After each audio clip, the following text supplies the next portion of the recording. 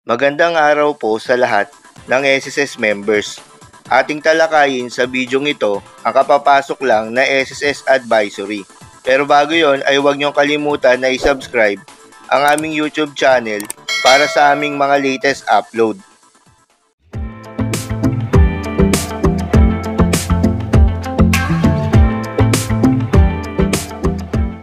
Ang SSS nga ay naglabas ng panibagong advisory para sa mga SS members na hindi pa permanent ang status ng kanilang SS number.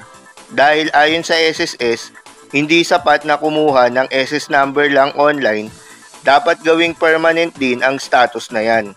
At sa mga magtatanong kung bakit kailangang permanent ang tag ng SS number, dahil ang permanent status ng SS number ay isa sa mga requirement para ang membro ay makapag-apply ng Unified Multipurpose ID or UMID card at makapag-file ng loan at benefit application bukod pa sa ibang requirements na kailangang matugunan para mag-qualify sa mga nasabing benepisyo at loans. Kung ang status ng SS number ay temporary, maaari lamang itong gamitin sa pagbabayad ng contribution.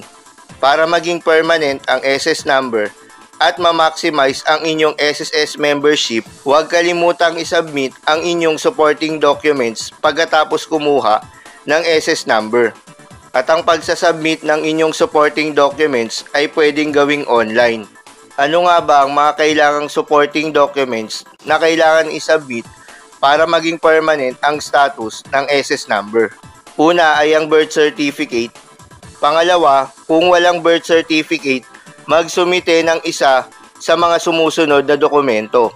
Baptismal certificate o ang katumbas nito, driver's license, passport, Professional Regulation Commission or PRC card, Seaman's Book or Seafarer's Identification and Record Book. And last, yung Philippine Identification or PhilID card. Pangatlo, kung wala ang mga nabanggit na ID card o dokumento, magsumite ng dalawa sa alinman sa mga sumusunod na parehong may wastong pangalan at ang isa ay may petsa ng kapanganakan.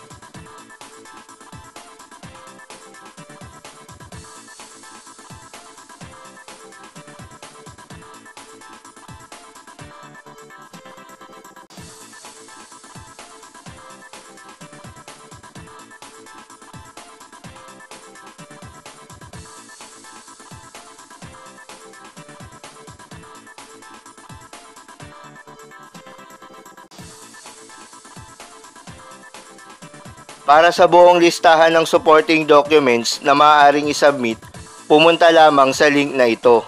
Paalala, tinatanggap ang ID cards or documents na mula sa banyagang pamahalaan basta may English translation ang mga ito. Paano naman ang pagproseso ng pag-submit ng supporting documents online? Sa phase 2 ng registration process ng pagkuha ng SS number online, ang registrant ay binibigyan ng option na mag-upload ng supporting documents para maitag ang SS number bilang application through the SSS web or mobile app with approved supporting documents.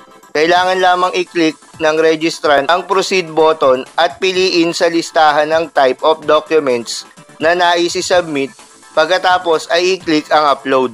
Paalala ulit, ang dokumentong isasubmit ay kailangang una, buo ang pagka-scan at kompleto ang bilang ng mga pahina. Pangalawa, colored, malinaw na nababasa at hindi putol o crop. Pangatlo, naka-JPEG o PDF format at hindi lalagpas sa maximum file size na 2 MB. Pang-apat, walang erasures, alteration o mga pagbura. Panglima, naglalaman ng mga impormasyon halimbawa pangalan o petsa ng kaarawan nakapareho o tugma sa inilagay sa application. Paano naman kung may SS number na pero hindi pa nakapag-submit ng supporting documents? May dalawang paraan upang mag-submit ng supporting documents. Una sa pamamagitan ng request for member data change or simple correction sa my.sss account ng member o magpa-schedule online ng branch appointment o magsadya sa pinakamalapit na branch office alinsunod sa branch number coding system at isubmit over the counter ang supporting documents, ipakita lamang ang original at isubmit ang photocopy nito. So, yun lang po para sa video ito. Sana ay nakapagbigay ako ng dagdag kaalaman ukol sa bagong advisory na inilabas ng SSS. Maraming salamat po.